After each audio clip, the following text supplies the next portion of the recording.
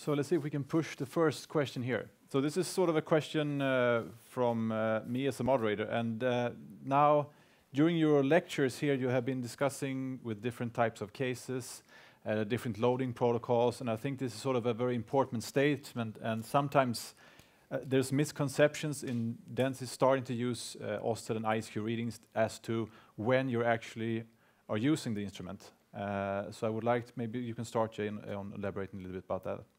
So the, the question is, when do I use it? Yeah.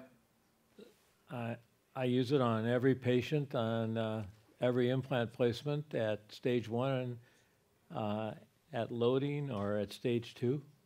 So So it's sort of important is that it's sort of considered as a biological process and it's dynamic and you should do several readings. I do. Yeah. I, I do. I think that it's uh, it, it, having a baseline is crucial because you don't know where you started if you if you intervene somewhere after the implant's placed. So I always try to have it at, at placement, and then how many times I do it afterwards depends a little bit on the case, particularly.